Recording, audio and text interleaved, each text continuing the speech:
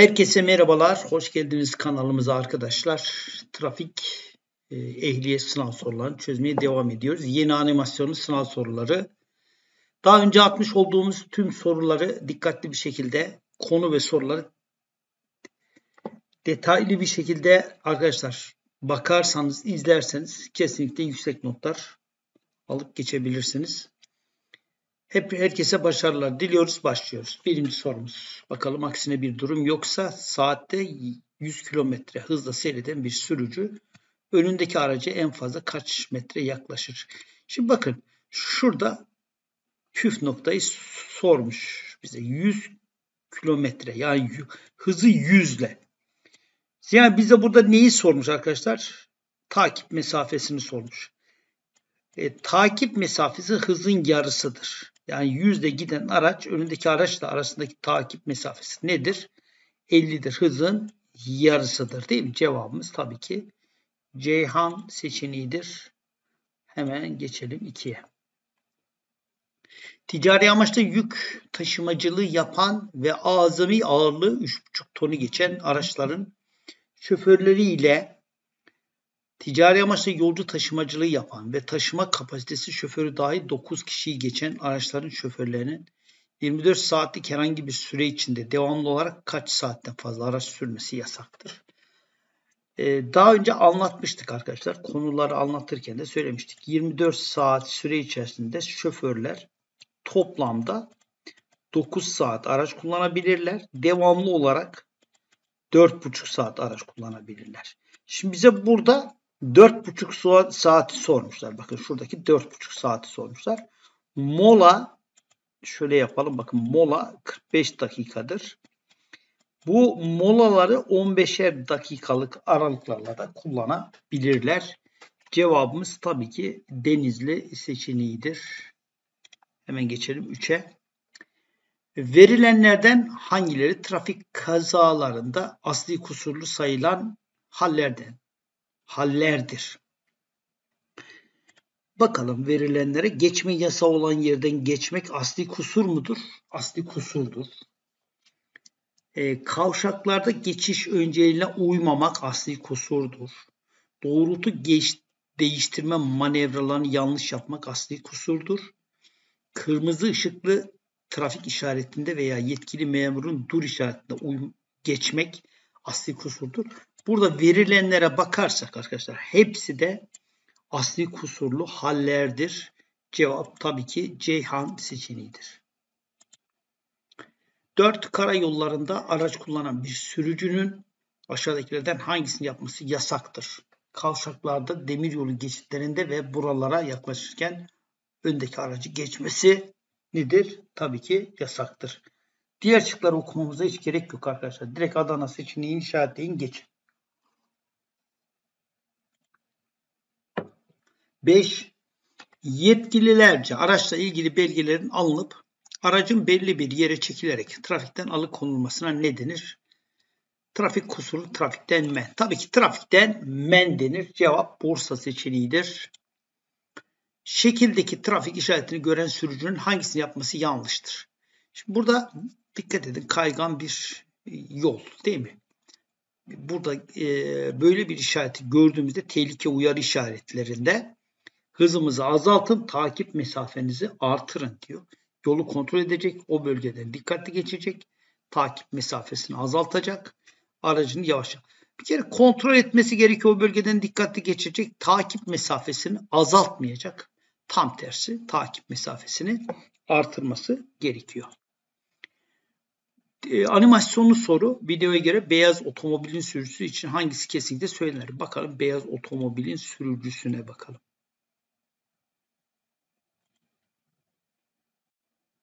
Evet. Şurada bak. Beyaz otomobilin sürücüsü ne yapmış? Bak arkadaşlar. Gördünüz mü? Şimdi şurada dikkat edin. Uyuşturucu ve uyarıcı madde etkisinde araç kullandığı, ileri sürüş tekniklerine uygun araç kullandığı, şerit takip ve manevralarına, e, kurallarına uymadı. Uykusuz, yorgun araç kullandı. Dikkat ederseniz, bak sağa dönüş yapıyor. Şimdi şuradaki Bakın şöyle bir e, kavşaktan ya sağa dönüş yapacak olan beyaz araç sürücüsünün tırın önünden sağa dönmesi mümkün değildir. Ya bir kere şerit takip ve manevra kurallarına kesinlikle riayet etmemiş. Sinyal vermemiş arkadaşlar. Burada tabii ki direkt Ceyhan seçeneğidir. Ee, bu sorunun cevabı. Hemen bakalım 8. Yerleşim yerleri içinde trafik düzenleme amacıyla yer işaretlemelerini, trafik işaret levhalarını, ışıklı ve sesli trafik işaretlerini ilgili yerlere kim monte ediyor? Yerleşim yerleri içinde diyor bakın. Kim yapar arkadaşlar? Belediyeler yapar değil mi? Belediyeler yapar. Cevap Adana. Yerleşim yerleri dışı demiş olsaydı evet o zaman sorumuzun cevabı değişiyordu. O zaman Karayolları Genel Müdürlüğü oluyordu. Evet. Burada Adana seçeneğidir. 9. Benzinli bir motorda buji hangi zamanın sonunda ateşleme yapar? Benzinli bir motorda buji iş zamanı sıkıştırma, egzoz ve emme şeklinde verilmiş. Tabii ki sıkıştırma zamanı sonunda ateşleme yapıyor. Cevap Bursa seçeneğidir. Hemen ona bakalım. Şekildeki akaryakıt istasyonundan çıkmak isteyen iki numaralı araçın sürücüsü ne yapmalı? Şimdi bakalım. İki nolu akaryakıt istasyonundan bakın bir iz veya mülkten çıkıyor değil mi? E, ne yapması gerekiyor? Bir nolu araca yol vermesi gerekiyor. Bir numara aracın geçmesini beklemeli. Cevabımız tabii ki Adana seçeneğidir. Verilen trafik işaretlerinden hangisi kamyonlar için öndeki aracı geçme yasağını bildirir? Şimdi önce e, kamyonlar için öndeki aracı geçme yasağını bildiren. Bakın Adana seçeneğinde kamyonlar için geçme yasağının sona erdiğini dikkatli bir şekilde aracı sollayabileceğimizi bize bildiriyor. Bursa seçeneğinde kamyonlar için girme yasağı. Yani burası tanzim işareti. Yuvarlak kırmızı yasak demektir. Kamyonların buraya girmesinin yasak olduğunu, kamyonun giremeyeceğini. Ceyhan seçeneği de kamyonlar için öndeki aracı geçme yasağını bildiriyor. Yani cevap e, Ceyhan seçeneğidir.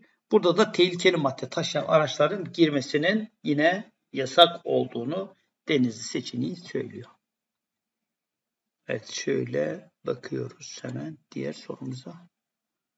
Ee, evet Ceyhan seçeneği dedikten sonra verilenlerden hangisi trafik denetim görevlilerinin istemesi halinde sürücülerin beyan etmek zorunda olduğu belgelerden biri değildir. Araç bakım kartı, nüfus hüviyet cüzdanı, araç tehcir belgesi, sürücü belgesi. Sürücü belgesi, araç tehcir belgesi ve nüfus cüzdanınız mutlaka aracınızda yanınızda olması gerekiyor. Araç bakım kartına gerek yok. Adana seçeneğidir. Tehcile bağlı araçların muayenelerini yapmak, yaptırmak kimin görevi arkadaşlar? Kim yapar? Karayolları mı, Ulaştırma Bakanlığı mı, İçişleri Bakanlığı ve Emniyet Genel Müdürlüğü mü? Trafik zabıtasının görev ve yetkileri saklı kalmak üzere araçların ağırlık boyut kontrolünü yapmak veya yaptırmak tabii ki Ulaştırma ve Denizcilik Haberleşme Bakanlığı'nın görevidir. Bursa seçeneğidir. Doğru cevap. Hemen geçelim. Evet. 14. Şekle göre hangi numaralı araçların bulundukları şeridi sürekli olarak işgal etmeleri yasaktır. Çok şeritli karayollarında arkadaşlar unutulmamalıdır ki Sol şeritler, bakın sol şeritler geçiş üstünlüğüne sahip araçlar için ayrılmıştır. Sağ şeritler yolcu ve yük taşıyan araçlar için ayrılmıştır. Burada bize hangi numaralı araçların bulundukları şeridi sürekli işgal etmeleri yasaktır diye soruyor. Bakın şuradaki 3 numara sol şeritte, karşıda da 2 numara sol şeritte bulunmaları sürekli nedir? Yasaktır. 2 ile 3'ün olduğu seçenek tabii ki Denizli seçeneğidir. Evet geçiyoruz hemen. 15. Verilenlerden hangisi geçiş üstüne sahip araçların sürülmesine ilişkin esaslardan biri değildir? Geçiş üstünlüğü hakkının görev halindeyken kullanılması doğrudur. Işıklı ve sesli uyarı işaretlerinin bir arada verilmesi doğrudur Halkın ve halkın can ve mal güvenliğinin korunması doğrudur. Görev hali dışında bazı kişilere ayrıcalık tanınmaz. Tabii ki böyle bir şeyin olması mümkün değildir arkadaşlar. Görev hali dışında bazı kişilere ayrıcalıkların tanınması nedir? Kesinlikle olamaz. Denizli seçeneği şekildeki trafik işareti verilenlerden hangisine yaklaşıldığını bakın okul geçidine değil mi? Okul geçidine hızınızı azaltın. Araç sollama yapmayın. Okul geçitlerinde hız sınırlamaları arkadaşlar unutmayın. Bakın bunu da zaman zaman soruyorlar. Okul geçitlerinde hız sınırlaması 30'dur. Evet azami hızı en yüksek hız sınırımız 30'dur. Bilginiz olsun. Hemen geçelim. 17. Verilenlerden hangisi Karayolları Genel Müdürlüğü'nün görev ve yetkilerindendir? Tüm karayolları işaretleme standartlarını tespit etmek, yayınlamak ve kontrol etmek Karayolları Genel Müdürlüğü'nün tabii ki görevidir arkadaşlar. Sürücü adaylarının sınavlarını yapmak milli eğitimin görevidir. Duran ve akan trafiği düzenlemek, yönetmek emniyetin görevidir. Bakın burada e, dikkat edin. Evet. Aralıkla yanıp sönen kırmızı ışık aşağıdaki trafik işaretlerinden hangisiyle aynı anlamdadır? Aralıklı yanıp sönen kırmızı ışığı sormuşlar. Aralıklı yanıp sönen kırmızı ışık dur levhasıyla aynı anlamdadır. Deniz seçeneği. Aralıklı yanıp sönen sarı ışık yol bir. Bak şurada sarı ışık aralıklı sarı ışık ee, yol bir tabelasıyla aynı anlamdadır. Bursa seçeneğinde bakın taşıt giremez. Bu bölgeden girişin nedir? Yasak olduğunu bize bildiriyor. Ee, Adana seçeneğinde ise motosiklet hariç motorlu taşıt trafiğine kapalı yol olduğunu bize bildiriyor. Tabii ki burada Denizli seçeneğidir. 19 Karayolları Trafik Kanunu'na göre C1, C1E, CCE, D1, D1E, D ve DE sınıfı sürücü belgeleri kaç yıl süreli geçerli? Arkadaşlar burada verilen e, ehliyet sınıflarına bakarsanız büyük e, işte otobüs, kamyon, tır değil mi? Ve e, araçlarına artı e, tabii ki ekleme yapılan araçlarımız evet romork takan araçlarımızın ehliyet sınıflarıdır. Bunlar 5 yıl geçerlidir. 5 yıl sonra yenilenmesi gerekiyor. Adana seçeneğidir. Doğru cevap. Bakalım diğer sorumuza. Evet şöyle bakalım. Adana seçeneğidir ve 20. Boşaltıldığı ortamda çevre kirliliği meydana getirecek maddelere ne ad verilir? Yanıcı madde, yakıcı madde, atık değil mi? Atıktır cevap. Ceyhan seçeneğidir.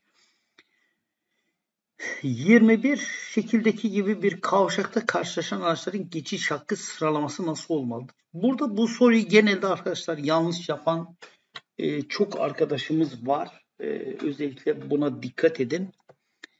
E, şimdi böyle bir soruda e, yanlış yapılıyor. Sebebini de tam anlamış değilim. Şimdi geçiş üstünlüğüne sahip araçlarımız var ise önce onları geçireceğiz. Bakın itfaiye ve polis. 1 ve 2. 1 ile 2'yi geçiriyoruz. Şurada önce itfaiye sonra da polis.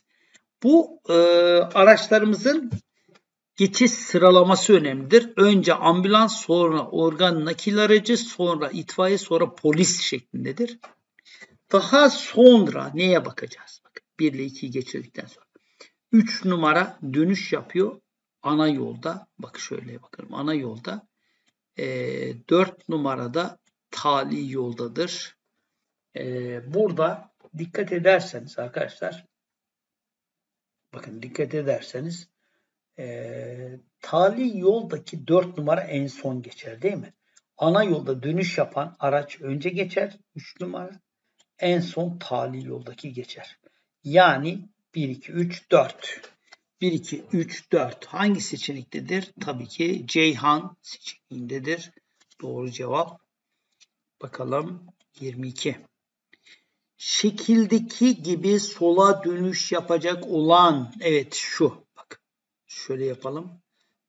Bak şuradaki sola dönüş yapacak olan 2 numara. 2 e, numara araç hangilerini yapmalı?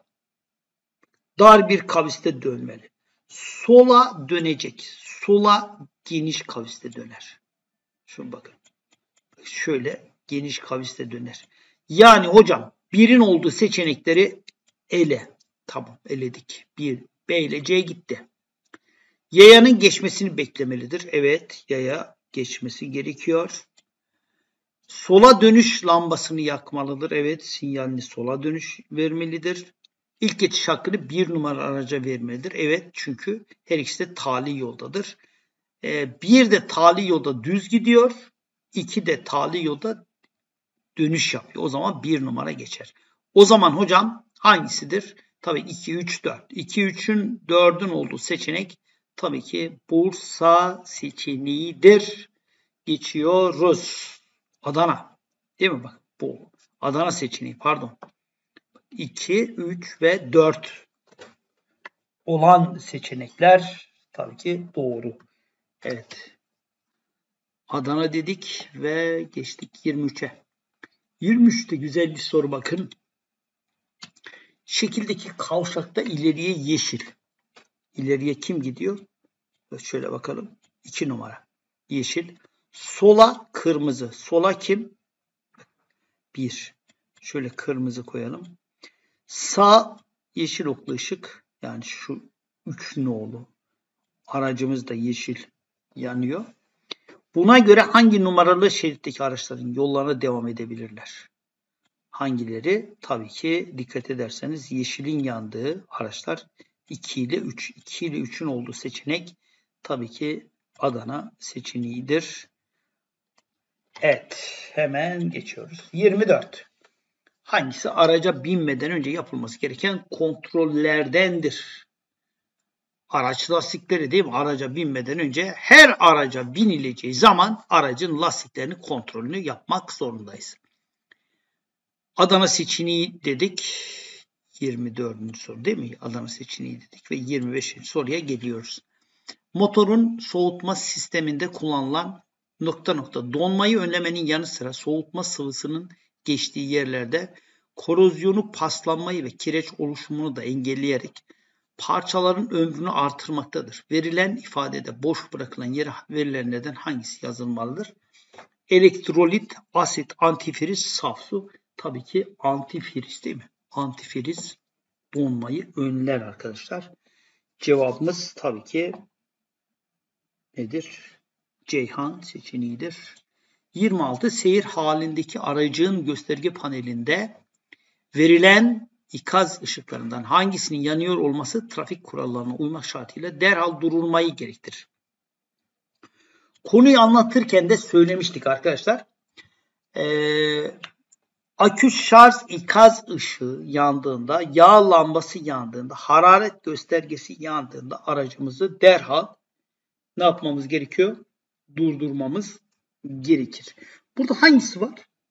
Bize neyi söylüyor bakın ikaz ışıklarından hangisinin yanıyor olması trafik kurallarına uymak şartıyla derhal durulması gerektiğini tabii ki burada denizli seçeneğidir değil mi? İşte uzun farlar 100 metre ileriyi aydınlatır değil mi? Mavi ışık yanar.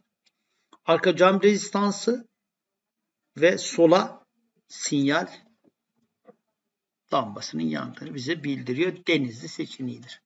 27 motoru çalıştırırken uzun süreli marş yapılması aküye ve marş motoruna zarar verir. Evet buna göre marş motorunda marş motoru dönmüyorsa sorun hangisinden kaynaklanmış olur? Akünün tam şarjlı olmasından, akünün boşalmasından, hava filtresinin kirlenmesinden. Bakın şöyle diyor bakın motoru çalıştırırken uzun süreli marş yapılması aküye ve marş motoruna zarar verir marş durumunda marş motoru dönmüyorsa sorun marş motor dönmüyor. Hiç dönmüyorsa e, neden kaynaklıdır? E, tabii ki akünün boşalması değil mi? Akünün boşalmasından kaynaklıdır. Bursa seçeneği evet. Şöyle yapalım. Bursa seçeneğidir. Doğru cevap 28'e geçelim. Motor yağının zamanda değiştirilmemesi hangisine neden olur? Motorun verimli çalışmasına, motordaki aşıntıların artmasına. Evet. aşıntılar ne yapar? Artar arkadaşlar. Cevap Bursa seçeneğidir. Hemen geçelim. 29 aşağıdakilerden hangisi elektrik devresindeki sigortanın görevi? Sigortanın görevi nedir arkadaşlar? Kısa devre olduğunda sistemi ne yapmak? Korumak değil mi? Cevap Adana seçeneği. Hiç durma. Yani hiç beklemenize de gerek yok. Bazı sorular saniyelik e, saniyeliktir. İşte bunun gibi. Lastiklerin hava basıncı dengesizce dengesiz olursa frenleme anında aşağıdakilerden hangisi olur? Araç bir tarafa çeker. Fren hidroliği azalır. Frenlerden ses gelir. Fren pedalına sertleşir. Tabii ki araç bir tarafa çeker. Adana seçeneğidir. 31 araçlarda hangisinin bulunması olası bir kaza anında ölüm ve yaralanma riskini azaltır? Arkadaşlar biliyorsunuz ki e, emniyet kemeri ve hava yastıkları ikinci derecede güvenlik gericidir. Kaza anında bakın kaza anında pasiftir bunlar bakın e, hava yastığı ve e, emniyet kemerleri ikinci derecede güvenlik gericidir pasiftir kaza anında aktifleşiyor e, cevap denizli seçeneğidir doğru cevap evet 32 taşıtlarda süspansiyon sisteminin görevi hangisidir aracın dönüşlerini sağlamak, akünün şarj olmasını sağlamak, titreşimleri, salınımları ve ani şokları sönümlemek, yakıt tüketimini azaltmak. Tabii ki titreşimleri, salınımlar ve ani şokları ne yapmak? Sönümlemektir. Ee, cevap Ceyhan seçeneğidir. 33 olay ya da kaza mümkün olduğu kadar hızlı bir şekilde telefon veya diğer kişiler aracıyla gerekli yardım kuruluşlarına haber verilmelidir. Türkiye'de ilk yardım gerektiren her durumda telefon iletişimleri 112 acil telefon numarası üzerinden gerçekleştirilir. Verilen bilgi ilk yardımın temel uygulamalardan hangisiyle ilgilidir? Tabii ki 112 acil telefon ne yapıyorsun? Arkadaşlar bildirimde bulunuyor değil mi? Bildirimde bulunuyorsun. Yani bildirmedir. 33. sorumuzun doğru cevabı bildirmedir. Ee, hemen geçelim. 34. 34 yine bir animasyon soru. İlk yardımcının uyguladığı müdahale hangisidir? Bakalım. Hayat kurtarma, rentek, hemlik, temel yaşam. Bakın nefes veriyor değil mi? Çocuk bebeğe nefes veriyor işte. Gördüğünüz gibi e, nedir? 30 kalp basısı değil mi? 30 kalp basısı, iki kurtarıcı nefes nerede verilir? Temel yaşam desteğiyle. Rentek hasta yaralının omur iliğine zarar vermeden hastayı araçtan çıkarmaktır. Hemlik tam tıkanmadır. Öksüremez, nefes alamaz, acı çeker, ellerini boynuna götürür. E, böyle durumlarda tabi burada denizli seçeneği 30 kalp masajı, 2 kurtarıcı nefes şeklindedir. 35 aşağıdakilerden hangisi çıkığı olan kazideye yapılacak ilk yardım uygulamalarındandır? çıkan eklemin bulunduğu şekilde ne yapmak? Tespit edilmek cevap Adana seçeneğidir. 36. Aşağıdakilerden hangisi ayak bileklerinden sürükleme yönteminde yapılmaması gereken uygulamalardandır? İlk yardımcının kazidenin ayak kısmı çömelmesi yapması gerekiyor. Kazidenin ellerinin yanda serbest bırakılması bu kesinlikle yanlış arkadaşlar. Diğer şıkları okuyalım tabii ki bu arada. Kazidenin baş boyun ve gövde ekseni bozulmadan sürüklenmesi tabii ki doğrudur.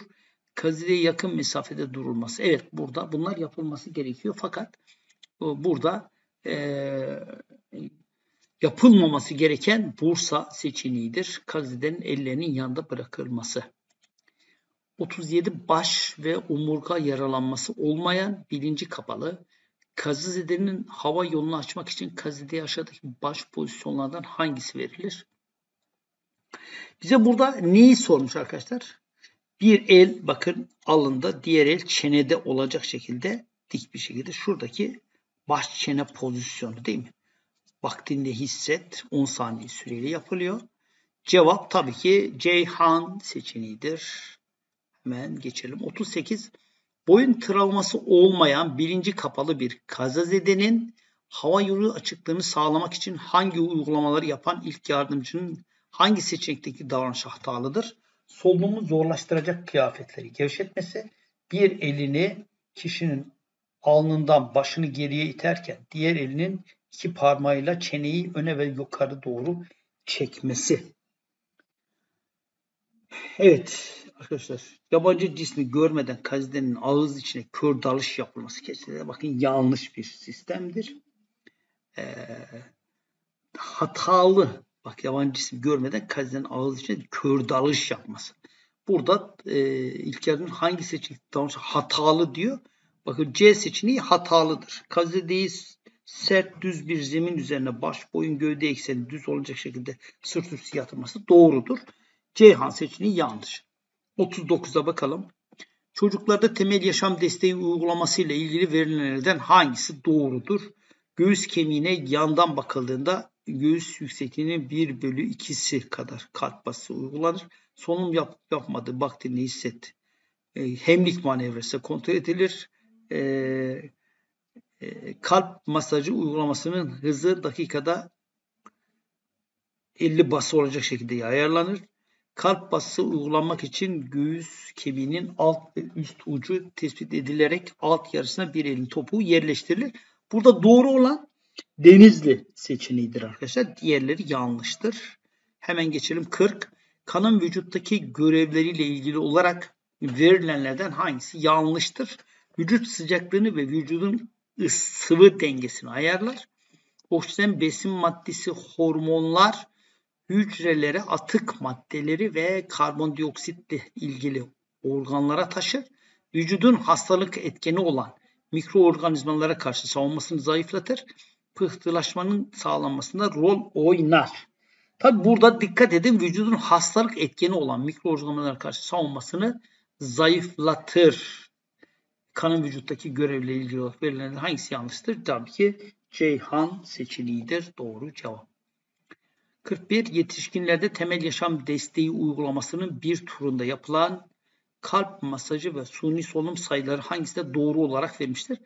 Tabi bu defalarca belki çözdüğünüz sorulardan birisi ama sınavlarda sık sık geliyor. 30 kalp masajı, 2 kurtarıcı, nefestir. Bursa seçeneğidir. Doğru cevap. 42. Kaza sonuçlarının ağırlaşmasını önlemek için olay yerinin değerlendirilmesini kapsar. Olay yerinin değerlendirilmesini kapsar dediğin anda hemen arkadaşlar aklımıza ne gelsin? Tabii ki koruma değil mi? Olay yerini koruma altına almak. En önemli işlem olay yerinde oluşabilecek tehlikeleri belirleyerek güvenli bir çevre oluşturmaktır. Koruma.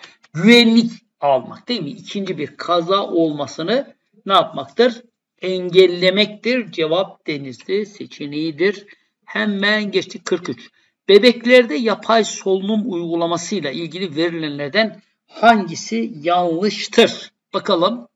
İlk yardımcı ağzını bebeğin ağız ve burnunun içine alacak şekilde yerleştirir. Doğru mudur?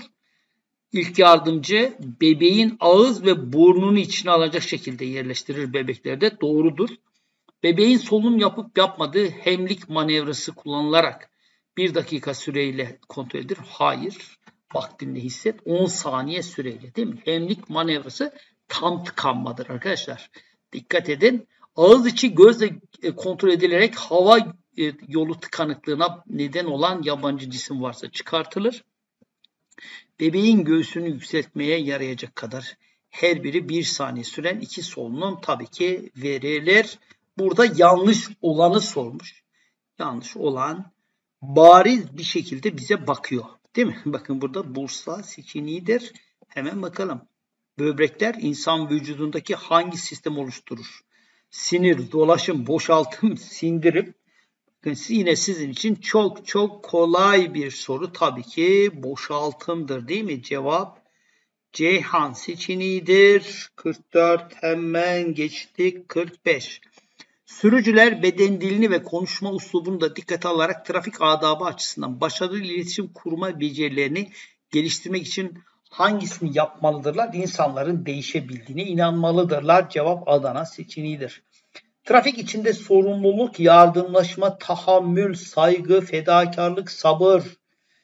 E, bu neyi söylemiş? Kavram hangi kavram arkadaşlar? Dikkat ederseniz trafik adabının tanımı değil mi? Trafik adabı neydi? Trafik içinde sorumluluk, yardımlaşma, tahammül, saygı, fedakarlık, sabır.